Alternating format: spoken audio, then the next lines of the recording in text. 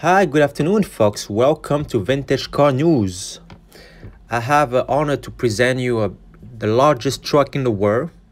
The name of it is Berliet 700. It's the huge truck ever seen in the world. It's a V12, 600 horsepower, built in 1956 and 1959.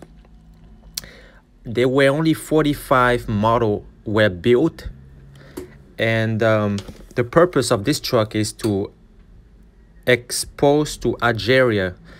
It basically carry oil in Algeria because you know how on the desert over there is warm and the road are not easy to drive so they use this humongous truck. The weight on this truck is one or three tons. It's pretty heavy. And this truck were intended for off-road use so like you could see i'm giving you a little tour of this beautiful truck and you could see how all the human around this truck is so tiny compared to its humongous truck. I really hope you guys like it. Even the video is short give two thumbs up subscribe to the video and the channel below right?